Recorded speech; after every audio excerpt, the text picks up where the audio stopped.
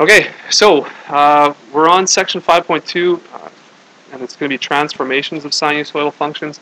I just want to review 5.1 real briefly. Um, we what we did was we explored the graphs of sine and cos. Um, i have graphed sine and cos here on the same axis, and we know we can figure out a few things uh, from the graph of sine in yellow here. Uh, we know that in our unit circle, the sine of 0 is 0, and the sine of pi over 2 is 1. So you have the point 0 and you have the point 1. And then the sine of pi is 0, and the sine of 3 pi over 2 is negative 1. The sine of 2 pi is back to 0. Periodic function, it repeats. This is one complete cycle or one complete period.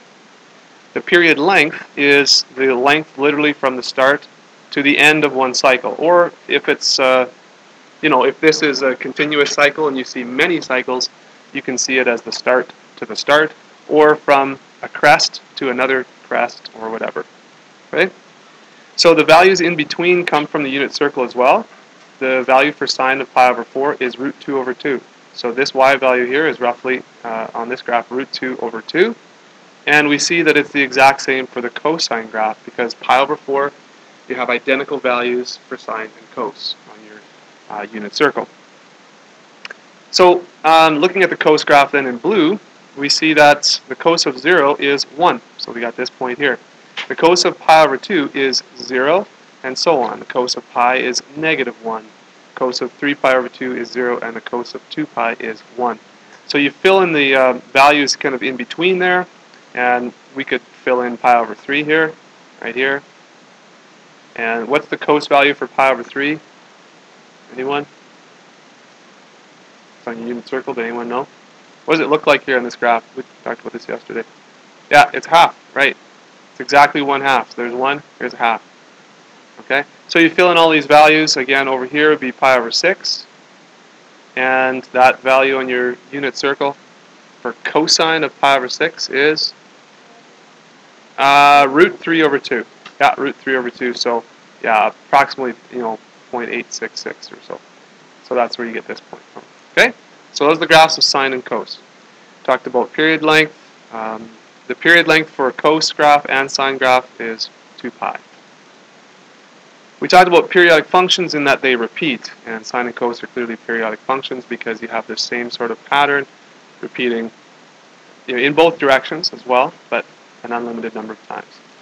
Uh, we call sine and cos sinusoidal curves because they they uh, kind of emulate this sine graph. So even a cos, you know, that uh, that starts, uh, if this, let's say this is 0 here, cos that starts up here, it mimics the sine.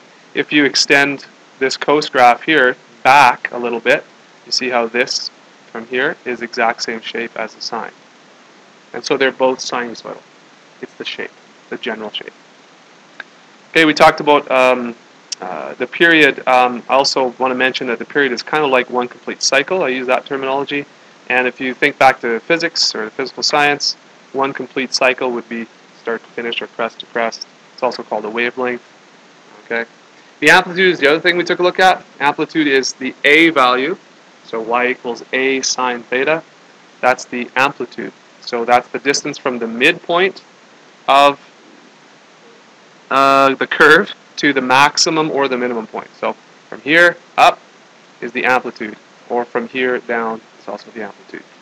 It's also the half, it's half of the range of the graph. Okay, so if you're talking about the range from negative 1 to positive 1, that's, that's a range of 2 units, so the amplitude would be half of that.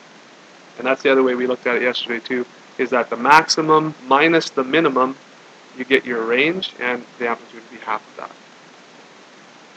We're going to talk today about uh, more about stretches, right? A and B actually, you know, stretch the graph. So an amplitude that, uh, or A value that's greater than 1 stretches it in a vertical manner, right? It stretches it. If it's A equals 2, then this maximum point is 2 instead of 1. And then it's negative 2 instead of negative 1. So you can see A value as a vertical stretch.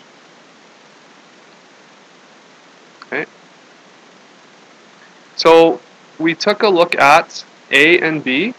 Um, again, you should have all this, you know, it's just, it's just review. So there's A and here is B. Now I don't want to I don't want to talk about C just yet. Okay, but A and B, this is kind of what we we looked at, right? Um, the other way you could talk about B is a horizontal stretch, and that's the terminology, that's the words we used in the first chapter for talking about transformations. So if you have a B value of 2, that is um, a horizontal compression. So that makes it uh, one cycle smaller. Okay, It's compressed by a factor of 2. Or you can say it's stretched by a factor of 1 half. Okay, and how do we get that? Well, we know that the period length for sine theta is 2 pi. The period length is defined as 2 pi over b for sine and cos. So in this particular case, if b, right, is 2, we have 2 pi over 2, or a period length of pi units. That's half of the original. So it is stretched by a factor of 1 half, or compressed by a factor of 2. So it's 2 times as small. Okay, however way you slice it, the, uh, the two graphs, uh, if they're compared, and here they are here, well, this is actually two different graphs, but um, if this is a regular sine graph, then if you have a b value of 2, it's the same height and everything, a value doesn't change, it's the same shape, really, it's the same sort of general shape, but it's compressed. Okay, so a b value of 2, you could also think, hey, there are two um, cycles where there was once one. Okay, so not a very good drawing.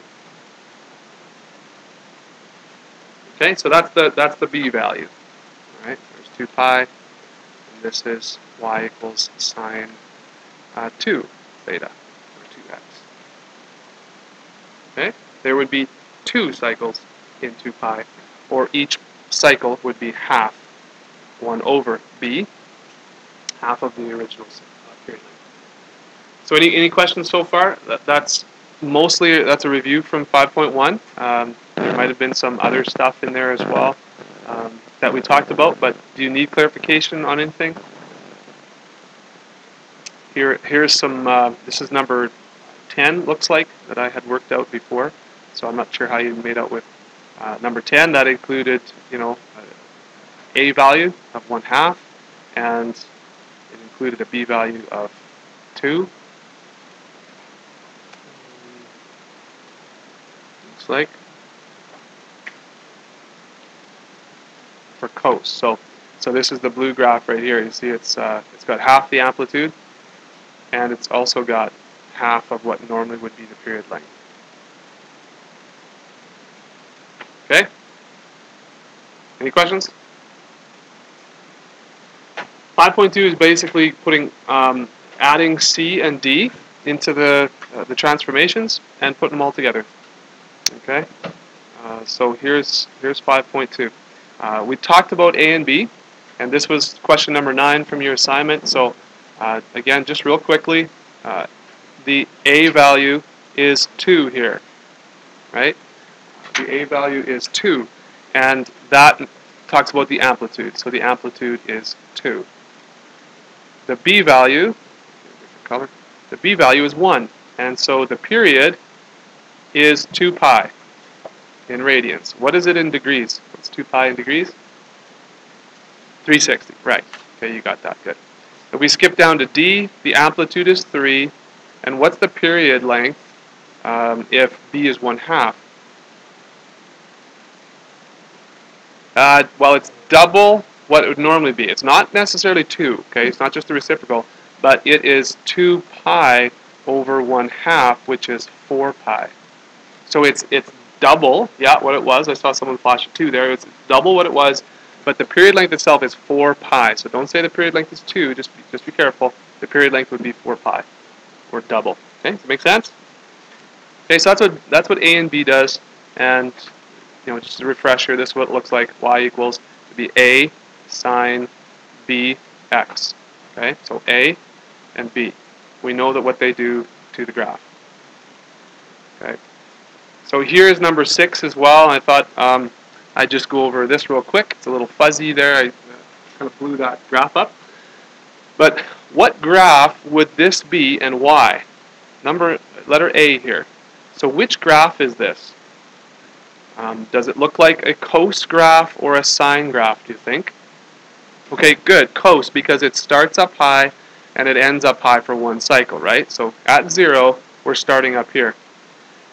What kind of clues are we looking for in the graph to try and match this up?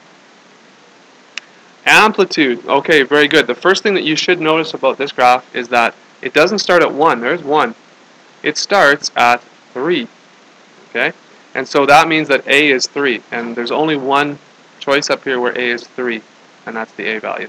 Okay? We could double check to see if uh, you know what the period length is. The period length goes from it goes from 0 to 2 pi. That's one complete cycle. And so B should be 1. And of course B is 1 up here, so this all kind of makes sense. Okay? So A goes with A from number 6. Alright? Um, okay, if we're talking about a negative sine, and this was asked yesterday, uh, instead of a sine, you know, normally going like this, okay, up, and then uh, down to, oops, going above, above 1 there.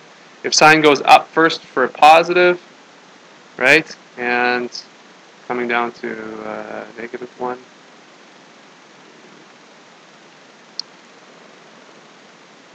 sorry, give me a second. There it is, negative 1. So this would be a positive sine. So a negative sine is when all of these positive values here would be multiplied by negative, so they become negative. So it's flipped. And remember with a negative a value when we were talking about transformations in chapter 1, it's a flip in the x-axis, right?